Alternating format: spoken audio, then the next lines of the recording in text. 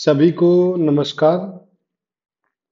मैं एग्ज़ाम दिवस से ओंकार झा आप लोगों का बहुत बहुत स्वागत करता हूँ।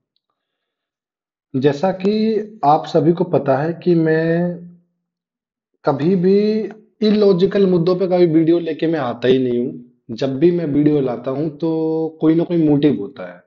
अब जैसे आपने देखा होगा कि एक महीने में करीब एक आध वीडियो मैंने डाली है पीछे। क्योंकि अगर कुछ बताने को नहीं है, सब कुछ स्मूथ चल रहा है, कुछ भी नया नहीं हुआ तो मैं क्यों बताऊँ, क्यों कूद जाऊँ बीच में, ठीक है? तो आज जो वीडियो जो बना रहा हूँ, उसके पीछे कुछ पर्पस है, कई सारे कॉल मैसेजेस मेल्स और असमंजस की जो स्थिति है, उसके बाद मुझे ऐसा फील हुआ कि मैं आप लोगों के साथ रूबरू हूँ और अपनी बातों को रखूँ।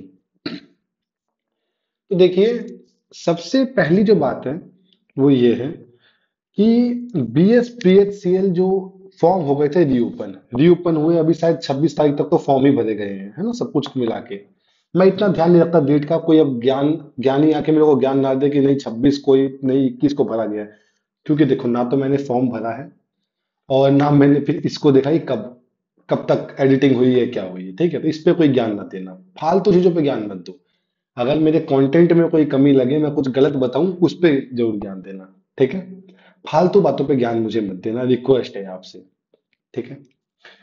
अब एग्ज़ाम कब होगा, ये ना एक बहुत बड़ा सवाल बन चुका है, क्योंकि देखो, जो आमतौर पे जो कोचिंग सेंटर्स वाले हैं, ठीक है, वो आपको बताएँगे कि बेटा एग्ज़ाम हो जाएगा नवंबर एंड में,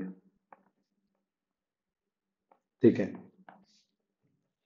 देखो, लगा वो भी तुक्का ही रहे पहली बात। और जो मैं बताऊँगा, वो भी तुक्के के आधार पे ही है। बट ना, मेरे तुक्के के पीछे ना, मैं लॉजिक दे सकता हूँ। उनसे पूछोगे तो बोलेंगे, कोई लॉजिक नहीं है। पहले इनकी जो नवंबर एंड की जो थ्योरी है, थोड़ा सा ना, इसको पहले हम लोग खारिज कर देते हैं कि नवंबर एंड तक एग्ज़ाम क्यों नहीं होने जा रहा। ठीक है? अभी तक टेंडर नहीं हुआ है, पहली बात, कि किसको मिलेगा, कौन एग्ज़ाम कराएगा। ठीक है? उसके बाद सात, आठ को छठ पूजा है, ठीक है? छठ पूजा का खुमार उतरते उतरते बारह, तेरह तारीख हो जाएगी नवंबर की, ठीक है? पंद्रह दिन में टेंडर भी हो जाएगा एग्ज़ाम एग्ज़ाम भी हो जाएगा सेंटर भी मिल जाएँगे, ऐसा पॉसिबल थोड़ी ना, इतना इजी नहीं है, ठीक है? तो सबसे पहली बात तो ये हो गई, ठीक है? पहली बात और सबसे बड़ी बात ये हो गई, ठीक है? अब जो अगली जो मेन बात है वो क्या है, उसको समझिए। तो इसका मतलब क्या हो गया कि नवंबर एंड में एग्ज़ाम नहीं हो रहा, ये आपको बात समझ में आ गई होगी। मेरे हिसाब से जो एग्ज़ाम होगा, आपका वो होगा, जनवरी के फ़र्स्ट हाफ़ में। जो मुझे लगता है, देखो, भगवान से मनाओ कि नवंबर एंड में हो जाए, तैयारी ऐसे हो कि नवंबर एंड में भी हो जाए तो कोई दिक्कत ना हो।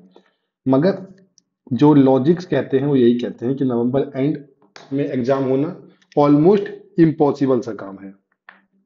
करा नहीं पाएगी आयोग एग्ज़ाम को। ठीक है? तो अब लोग पूछेंगे कि आगे क्या करें, ठीक है?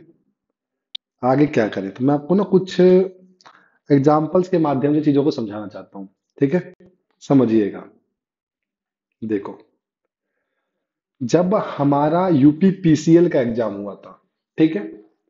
जब हमारा यूपी पीसीएल का एग्ज़ाम हुआ तो सेम कहानी हुई। एग्ज़ाम फॉर्म हमने भर दिया, साल भर तक एग्ज़ाम नहीं हुआ। अचानक से उन्होंने बता दिया, लो भैया एग्ज़ाम आपका जून में है।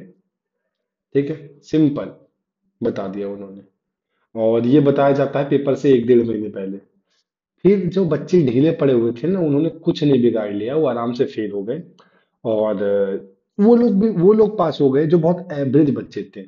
सच्ची बात बता रहा हूँ मैं। जैसे देखो, बहुत लेस तैयारी के साथ मैंने ये एग्ज़ाम क्वालिफाई कर लिया था मेरा वाला। रीजन क्या था कि मैं थोड़ा थोड़ा रोज पढ़ता था। और मुझसे बहुत अच्छे अच्छे बच्चे इस एग्ज़ाम में छट भी गए थे। ठीक है? तो सच्चाई ये है। तो आपको क्या करना है? जो भी स्ट्रेटजी मैंने आपको बताई है, जो मुझे फॉलो कर रहे हैं, या जो भी स्ट्रेटजी आपको आपके टीचर ने बताई है, जो किसी और को फॉलो कर रहे हैं, ठीक है? मैं दोनों की बात बोल रहा हूँ, क्योंकि देखो, मैं भगवान तो हूँ नहीं। कि मेरे को ही फॉलो करो, बाकी किसी को ना करो। किसी को भी करो यार, मेरा को, मेरे को कोई देखो, ऐसा कोई लालच तो है नहीं, ठीक है? किसी को भी फॉलो करो, कोई दिक्कत नहीं। बट जिसको आप फॉलो कर रहे हो, जो आपको स्ट्रेटजी बता रहा है, उस पर बिल्कुल स्टक रहो और लगे रहो तैयारी में, ठीक है? तैयारी ऐसी हो कि एग्ज़ाम डेट अगर कल की भी हो तो आपको टेंशन ना हो, आपको चिंता ना हो। बस मैं इतना ही कहूँगा, ठीक है?